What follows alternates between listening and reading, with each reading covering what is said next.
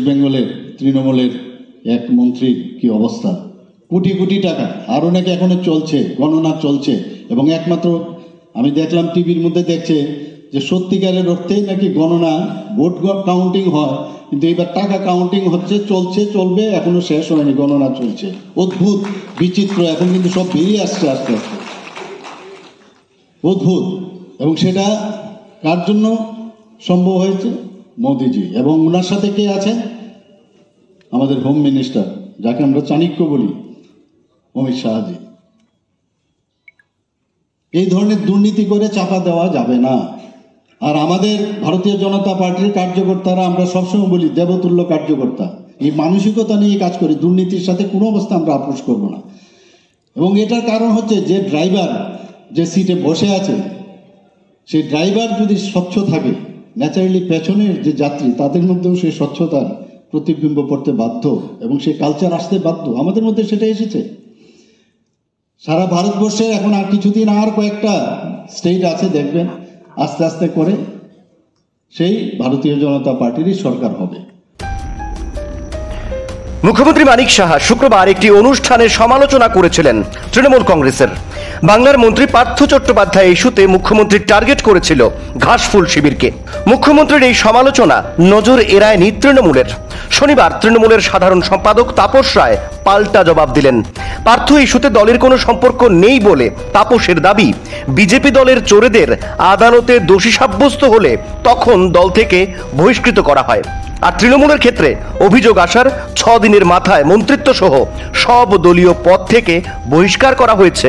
এটাই তৃণমূল। মুখ্যমন্ত্রী মহাশয়, আমি আপনাকে বলছি, ভারতের ইতিহাসে, আমাদের দেশের ইতিহাসে এ নজিরবিহীন ঘটনা। ছয় দিনের মাথায় এমন সিদ্ধান্ত।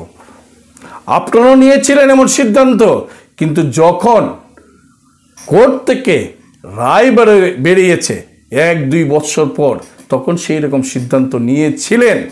কিন্তু এই রকম আঙ্গুল ওঠানোর সঙ্গে সঙ্গে ছয় দিনের মাথায় এমন সিদ্ধান্ত আমাদের দেশের ইতিহাসে হে নজিরবিহীন। আর আপনি? বলছেন, আমাদের রাজ্যে সুশাসন? মাননীয় মুখ্যমন্ত্রী মহাশয়, আমি আপনাকে বলতে চাই, আমাদের রাজ্যের একজন বর্ষিয়ান বিধায়ক, যিনি একজন বর্ষিয়ান মন্ত্রীকে আঙ্গুল তুলে মিডিয়ার সামনে ডাইরেক্ট বলেছিলেন যে কোটি কোটি টাকার হেরফের করেছে, কোটি কোটি টাকার গাজার ব্যবসার সঙ্গে জড়িত আছে, কোটি কোটি টাকা মাদক ব্যবসায়ের সঙ্গে জড়িত আছে। কিছু ব্যবস্থা হয়েছে? কিছু ব্যবস্থা নিলেন। আরেকজন আমাদের প্রাক্তন মুখ্যমন্ত্রী, কান পাতলেই শোনা যায়, সারা রাজ্যে শোনা যায়, অলিতে গলিতে শোনা যায় ওনার করিশ্মা। কোটি কোটি টাকার হেরফের। আপনার সেই ক্ষমতা আছে কি? শৃঙ্খলা কমিটির মিটিং ডাকা, রাজ্যে বিজেপি সবাইকে নিয়ে মিটিং ডাকা সুশাসনের জন্য মিটিং ডাকা, তাদের বিরুদ্ধে ইডি, সিবিআই লাগানো। আমার মনে হয় নেই যদি তা না হয়, তাহলে মাননীয় মুখ্যমন্ত্রী মহাশয়, আপনাকে অনুরোধ করব, অন্যের দিকে আঙ্গুল তোলার আগে একবার নিজের অবস্থানটা বুঝে নেবেন। সামনে জনগণ আছেন, জনগণ বসে আছে রায় দেওয়ার জন্যে। পার্থ ইস্যুতে ঘাসফুল শিবির যথেষ্ট চাপে রয়েছে। এটা ঘটনা। কিন্তু সততার প্রতীক মমতা ব্যানার্জি আছে বলেই বাংলার শেষ কথা এখনও হাওয়াই চটি পড়া বাংলার মেয়েটাই। Report, independent.